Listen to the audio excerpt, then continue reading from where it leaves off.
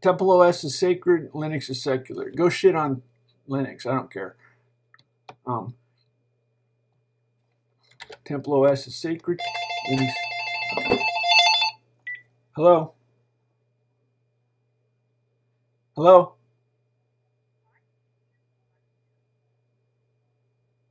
Um, it's like uh, Internet Explorer. Why do you, what do you use Internet Explorer for on Windows? I know, but do you know the joke? What do you use Internet Explorer for?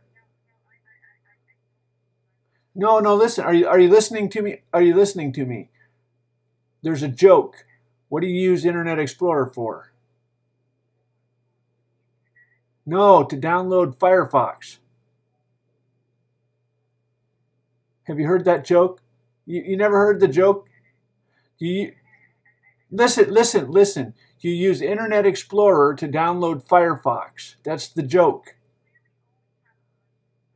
No, do you listen? Are you listening to me? There's a joke.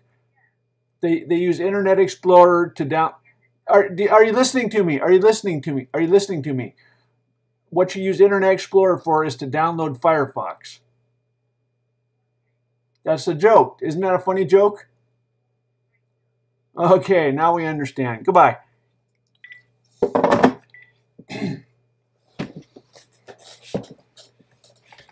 So, someone wanted to know what I use Ubuntu for.